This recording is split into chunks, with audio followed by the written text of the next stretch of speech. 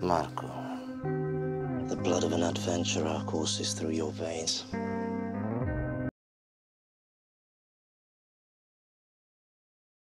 Well, I was a MTV VJ for a couple of years, and I always loved acting. I always loved movies, and um, after a period of time being a host, I decided to to to switch, and that's how I got into movies. But ever since I was like three or four years old, I love performing. I love I, I played piano. I sing.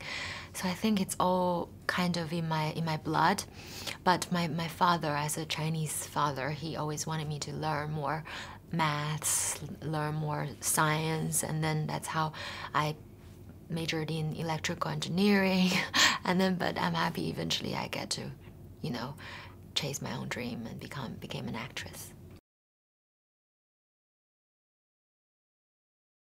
Well, the process was. Uh, it, it went for a while. So I think first when I got into the, the audition room, casting office, was last year in about, during like August.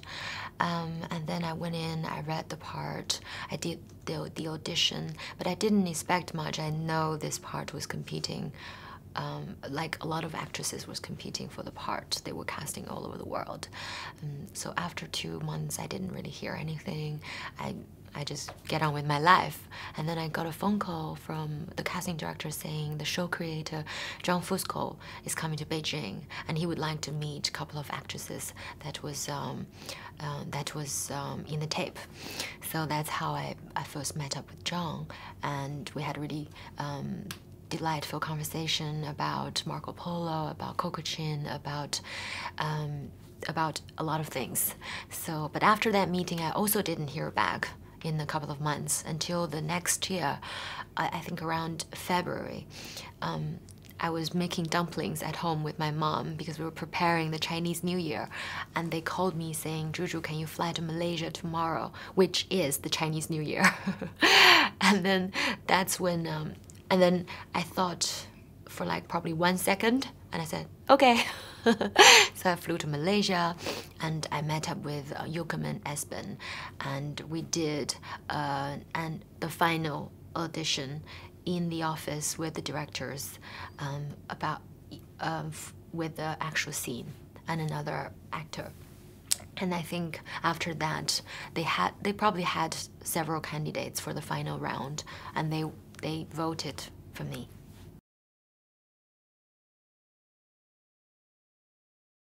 Well, um, I didn't do a lot of action in the show, but um, I wrote I wrote horse and I did archery. So um, I I did probably about two months uh, riding horses every day for two hours. Well, the before we start shooting, I arrive in Malaysia two months in advance, and every day our schedule was like seven seven thirty pick up pick up in the morning, and then would when we go to um, physical training, a little bit physical and kung fu training, and then. Uh, uh, with dialogue coach for two hours, and then lunch break, and two hours horseback riding, and an hour archery, and then come back to come back home around five. So that, that was our schedule for two months before we start shooting.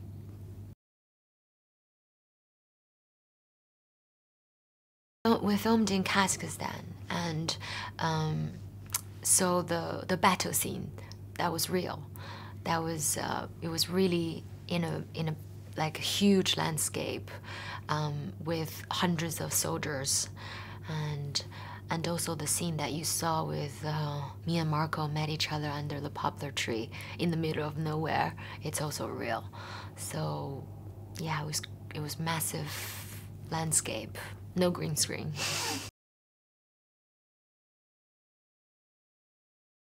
I'm a fan of uh, Wes Anderson.